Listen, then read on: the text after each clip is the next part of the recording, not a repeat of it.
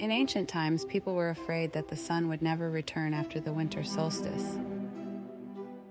Yule is a time to celebrate the fact that the sun will come back and bring warmth and light to the world. Many different cultures have stories about a sun god who is born on the winter solstice. For example, in Wicca, the sun god is called Lugh, the Egyptian sun god is Ra, and the Norse have Sol.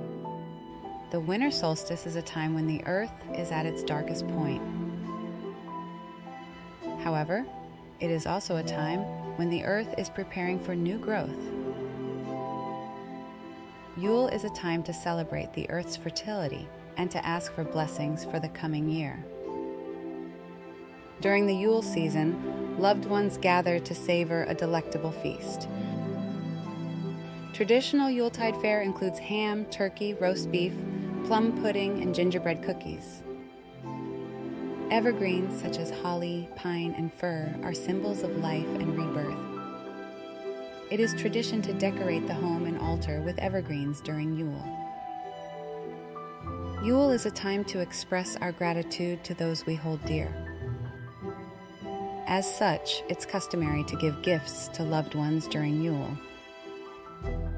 Across cultures and through time, the divine duality, honoring both the feminine and masculine aspects, has been revered and celebrated.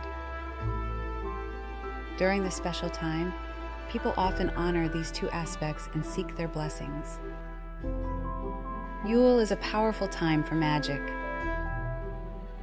It is a perfect time to perform spells to bring good luck, prosperity, and health in the coming year.